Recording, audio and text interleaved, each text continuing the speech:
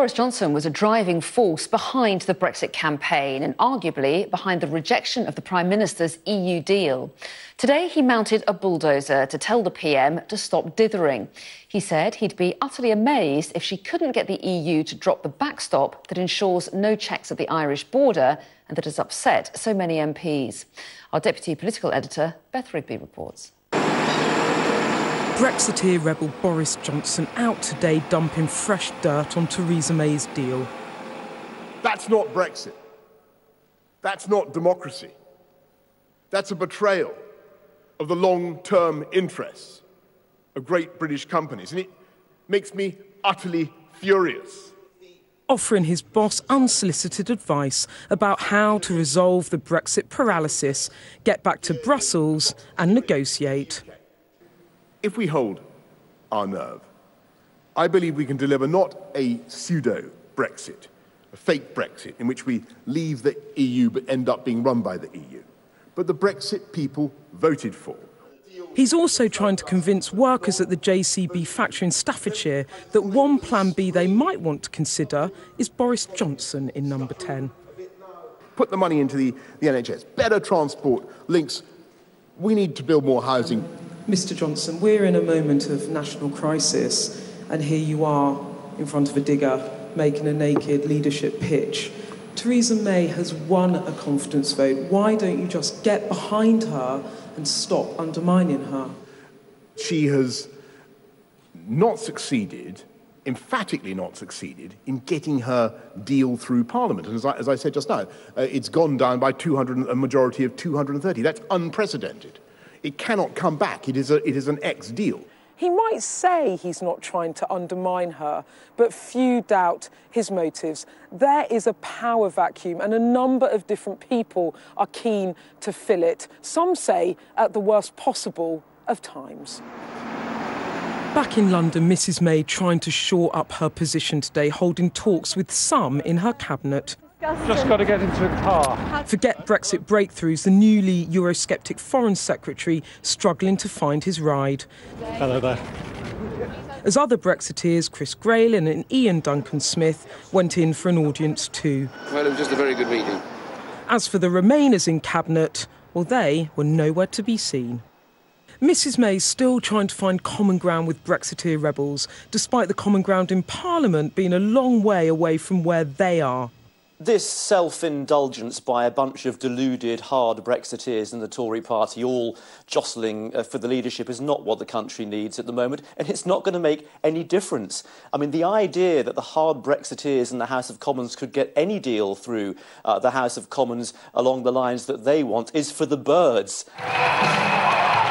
The crisis grinding on and the two biggest political parties near breaking point as the lines that once divided our politics are redrawn. What you're seeing in the country uh, is now research suggesting that an increasing number of voters are now identifying as being Remainers or Brexiteers ahead of whether they're Labour or Conservative. There is a change going on out there. Leaving number 10 for her country retreat, but carrying Brexit baggage with her, this will be very much a working weekend. On Monday, the Prime Minister will have to offer MPs a plan B for Brexit. Beth Rigby, Sky News. In Brazil, a group of regional justice ministers want attacks on national infrastructure to be reclassified as terrorism. Gangs have blown up banks, police stations, and even bridges in a campaign of violence in response to the government's changes to prison conditions. Well, our chief correspondent Stuart Ramsay reports from northeastern Fortaleza in Brazil. Deep into the favelas, military police patrols are now constantly on the streets of gang controlled areas they usually keep out of. There is a crackdown here, and anyone, indeed everyone, is a suspect. Stop and search teams fan out from the patrol vehicles securing the area. In Brazil, the crime gangs are heavily armed and they are prepared to defend themselves. It's an urban conflict as dangerous as any war. I take it this is a standard operation. Is it very dangerous here? Essa atividade aqui é, é perigoso? É bastante perigoso. Very dangerous, yeah. Motorcycle teams and multi-vehicle patrols swoop into the dark, narrow streets unannounced. The city of Fortaleza is one of the first to experience the determination of the country's new president to fight back against gang violence. I think they're going to move. Think we're on our way again. It's uh, absolutely constant, this. And they're sort of basically sort of crashing into area as quickly as possible. Uh, areas they know are dangerous, areas where they know there's gang activity. In fact, the whole area is gang controlled. But uh, they go to specific points where they know they either keep weapons or drugs or deal from here. Roadblocks are now common in areas where crime gangs carry out their business. They check the vehicles for weapons and drugs. Local police are now being supported by heavily armed national police, drafted into the city in their hundreds. A clear message that the new government intends to impose itself. And this is why. A campaign of violence against the state, orchestrated by gang leaders furious at a security crackdown in prisons where they're being held. The gangs have blown up bridges, hijacked and destroyed buses, bringing public transport to a standstill. They've hit water and electricity supplies, and in groups attacked a series of garages, setting them alight. The federal police here, Yeah. like uh, in, in England, don't have this this uh, function. You don't see this often. The Justice Minister packs a gun. Elected to office, he is actually a detective specialising in organised crime and drug trafficking. He's overseen the response here, and he, like many others, want more power. Crime violence, as they've seen, should, he says, be classified as terrorism. So basically, what you're saying is it is terrorism, but because of the law, it isn't prosecuted as such. Yeah, And if They- you, uh, it's uh, damage to the public. yeah, yeah, a sort of a different crime. yeah, And you would like to see that change so you could actually be stronger. yeah. All of uh, the we have a, a college of the uh, secretary Yes. public security of all states in, uh, is our interest that the the law uh, we have to be changed. But this president might do it. We expect yes. The truth is, imposing law and order in Brazil isn't easy and it will cost a fortune in personnel and resources. Here, it's been difficult enough. And in Rio and Sao Paulo, where the gangs are the size of armies, it could be nigh on impossible. Stuart Ramsay, Sky News, Fortaleza. And there are demands in Washington for an investigation into reports President Trump ordered his former lawyer, Michael Cohen, to lie to Congress about his links with Russia. A report by the BuzzFeed News Service claims the president directed Mr. Cohen to lie about his plans to build a Trump Tower in Moscow before he took office. Mr. Cohen already faces a three year jail sentence for violating campaign finance laws. Here's our North America editor, Jon Sopel. The subject that just won't go away the president and Russia, and the most serious allegations to date about his attempts to hide the efforts the Trump organization was making to build a Trump Tower in Moscow just before the election. After Donald Trump became president, his then personal lawyer Michael Cohen went before Congress and said on oath that the plan was scrapped in January 2016. That wasn't true, and a lie that earned him time in jail. But according to a detailed BuzzFeed report, the lie wasn't his idea. The special counsel's office learned about Trump's directive for Cohen to lie to Congress through interviews with multiple witnesses from the Trump organization and internal company emails, text messages, and a cache of other documents. And the report goes on. The president personally instructed him to lie by claiming that negotiations ended months earlier than they actually did in order to obscure Trump's involvement. The president's current personal attorney, Rudy Giuliani, has categorically denied this. The White House has been more circumspect. This is just another in a So you- long you're line of saying the- ridiculous charges without any corroboration or credibility You're whatsoever. saying the president did not tell Michael Cohen to do that.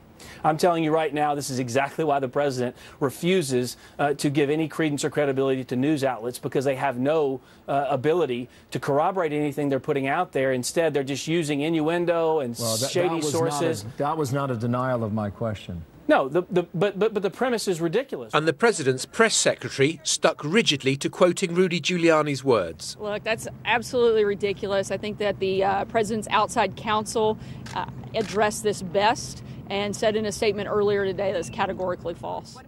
The chairman of the House Intelligence Committee, Adam Schiff, tweeted this the allegation that the President of the United States may have suborned perjury before our committee in an effort to curtail the investigation and cover up his business dealings with Russia is among the most serious to date.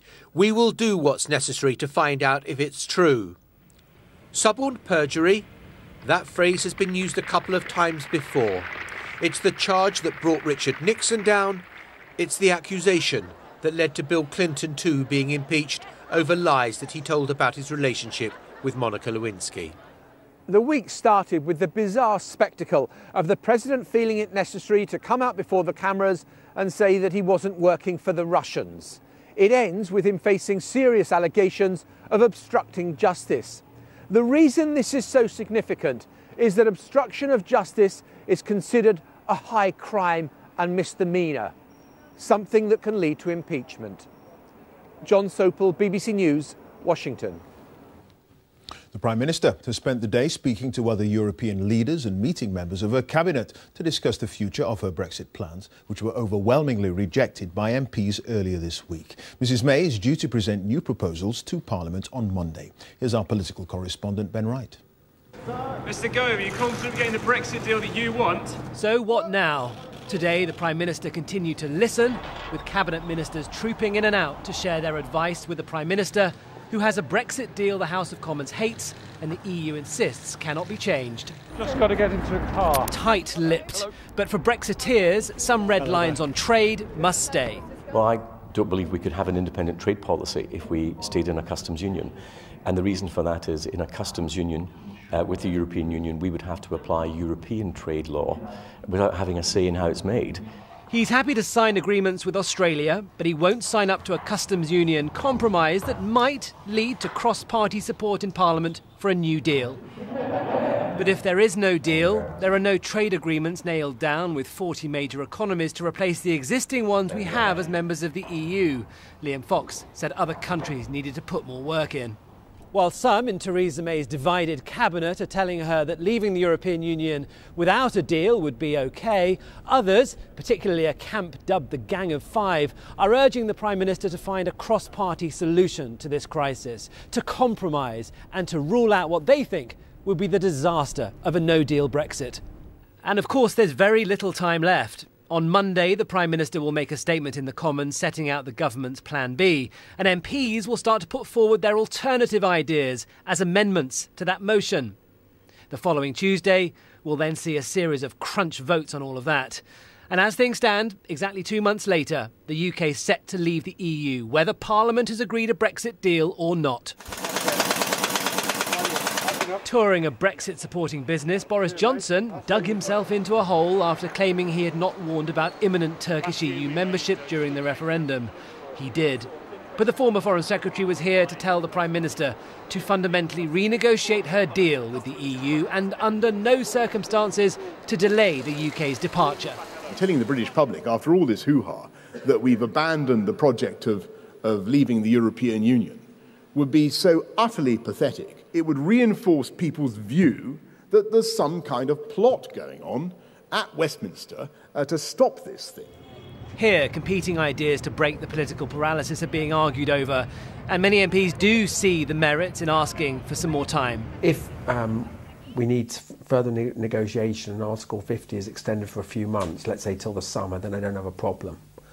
Or, or a few months. Or, and I don't think the public are fairly reasonable on this um, wouldn't have a problem either. Before leaving Downing Street for a working weekend, Theresa May spoke to EU leaders, but her headache is here, trapped between the demands of her divided party and a fractured parliament. Now, as the Prime Minister attempts to grapple behind the scenes to find a way forward on Brexit, Boris Johnson burst into public before the cameras today to criticise her efforts. Judged by many to be another barely concealed bid for leadership, he said she should simply go back to Brussels and tell them to drop the controversial backstop for Northern Ireland. But he was quickly enmired in a controversy of his own about claims he'd made during the original Brexit campaign. While Theresa May was taking soundings in London about what to do next over Brexit, Boris Johnson was making a noisy intervention of his own. No longer Foreign Secretary, but still a VIP at JCB's headquarters, he had this advice for the Prime Minister. If we spend the next few weeks hydraulically straining to move MPs from one camp to the other, or pointlessly trying to get Mr Corbyn to come and parley at number 10. We'll be wasting our time. His solution demand Brussels dump the backstop. We haven't even tried to get rid of it.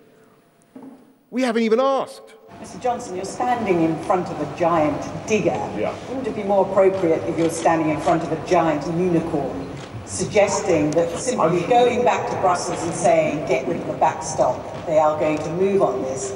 And isn't it a bit rich suggesting that Theresa May hasn't even tried to negotiate with Brussels when you abandoned the field of play when you resigned as Secretary? Fair question. Um, I think I tried to answer it in my, in my speech. Actually, uh, this is the moment. And I don't think we've gone in with sufficient drive and JCB style gumption to, to, to get this. Today, in what looked like a rebranding exercise, he also said he was pro immigration. How did that sit, he was asked, with his claims during the referendum that millions of Turks would come to Britain if we stayed in the EU? I didn't say a thing about Turkey, and I didn't make any remarks about Turkey. Didn't say anything. A brief glance at the record, this letter to David Cameron, for example, suggests otherwise. But what of his claims that Mrs May, who headed to Chequers this afternoon, would get nowhere with cross party talks? One former minister thinks he's right. I fear that the talks are doomed to failure because the Prime Minister is highly constrained. She's got irreconcilable demands on her in the Conservative Party, but also the Prime Minister is very wedded to her own deal. But the reality is her deal was sunk this week by a massive majority, and she only has until Monday to come up with Plan B. Anne Libby joins me here in the studio. So let's talk about the Plan B on Monday. How is that all going to unfold? To take us through it. Well, Boris Johnson today described the Prime Minister's deal as deceased, and you would think after that crushing defeat on Tuesday that in fact it was dead. But all the signs are, despite all the talking that's been going on in Westminster in the last 48 hours, all the signs are that her Plan B that she presents to the House of Commons on Monday will look incredibly like Plan A, perhaps only in different coloured ink. The reason being is that she's walking a political tightrope. Uh, some of her cabinet uh, apparently threatening to walk if she uh, says that she won't uh, consider taking no deal off the table. Others saying they'll walk if she embraces Labour's idea of uh, staying in a permanent customs union. I think what might unlock the situation is this backbench amendment put forward by Jack Dromey from the Labour Party, Caroline Spelman from the Conservatives, which is demanding that the government take no deal off the table. How could they do that in practice? Well, perhaps extend Article 50. We won't know whether that is going to happen at all until the week after next because the actual vote won't be till Tuesday the 29th. So, yet another crunch day on the way on Monday, Absolutely. Libby. Thank you very much indeed for that. And we can join Robert now in Washington. And understandably, Robert, a lot of attention focused on that shutdown. But there's another big story really gathering pace now about the allegations of links between President Trump and the Russians. That's right, Julie. I mean, Michael Cohen is one of the pivotal figures uh, in the Russia investigation. Remember, uh, Cohen is Trump's former lawyer, former fixer, often regarded as the keeper of the Trump family secrets, and he is cooperating uh, fully with the Mueller probe. Now, over the last 24 hours, there has been a news report circulating here that Trump instructed Cohen in 2017 to go here to Capitol Hill and lie to Congress about the extent of Trump's negotiations with Moscow about the construction of a skyscraper in the Russian capital. Now, if that is confirmed, that will have Democrats salivating because it would be the clearest evidence so far of an obstruction of justice. In fact, one member uh, of the House has already said that it should lead either to Trump's resignation or to impeachment proceedings. Now, it must be said, Julie, that the president's making clear that, in his view, Cohen is now lying again in order to reduce his jail time. Uh, the president's uh, current lawyer, Rudy Giuliani, is saying it's simply evidence of Cohen's desperation and malice. But certainly, you get the sense here there's now something of a pincer movement on the White House. The Mueller investigation on one side and House Democrats on the other, wanting to accelerate their investigations. Okay, Robert, thank you very much indeed for that.